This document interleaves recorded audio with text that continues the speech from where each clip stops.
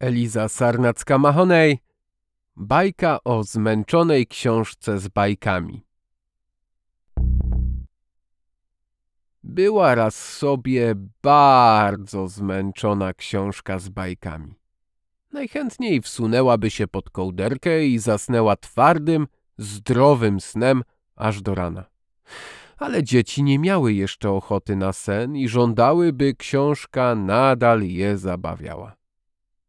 Pokaż nam smoka, który zieje ogniem po same chmury. Chcemy śpiącą królewnę i całą armię krasnoludków i morze z piratami i babę Jagę w chatce na kurzej łapce.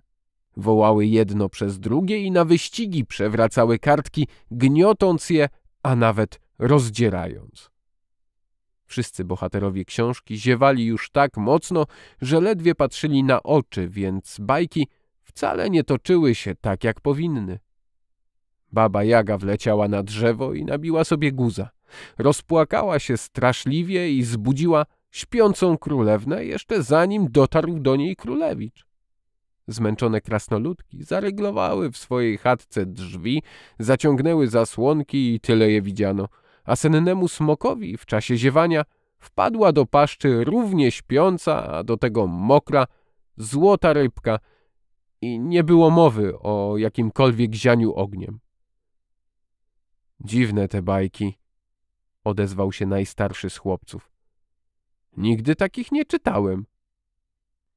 Ani ja, potwierdziła jego młodsza siostra. Może powinniśmy im trochę podokuczać, żeby przyszły do siebie?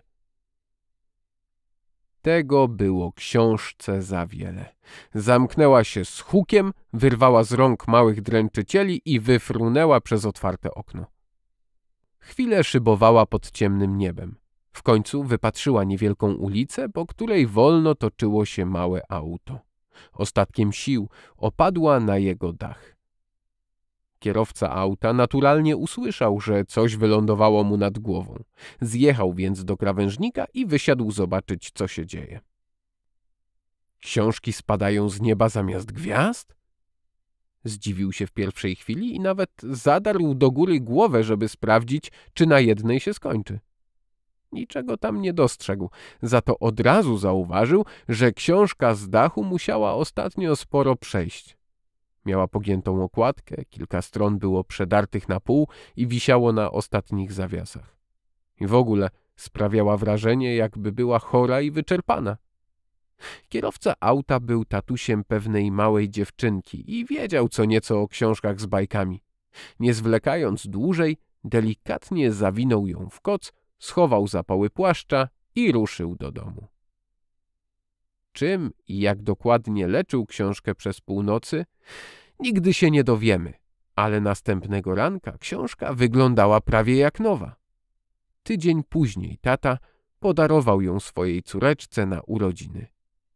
I tak kończy się bajka o bardzo zmęczonej książce z bajkami, gdyż nasza bohaterka nigdy więcej nie miała powodów, by być zmęczona. Córeczka pana kierowcy wiedziała, że książkom, jak ludziom, należy się szacunek i że lubią, jeśli się je traktuje poważnie. Dlatego delikatnie przewracała w niej kartki, a po czytaniu odkładała na półkę, żeby bajki mogły odpocząć, żeby Baba Jaga nie musiała więcej leczyć bolesnych guzów. Smok ział pięknym, pomarańczowym ogniem, a krasnoludki miały siłę sprzątać bajkowy las, wesoło przy tym śpiewając.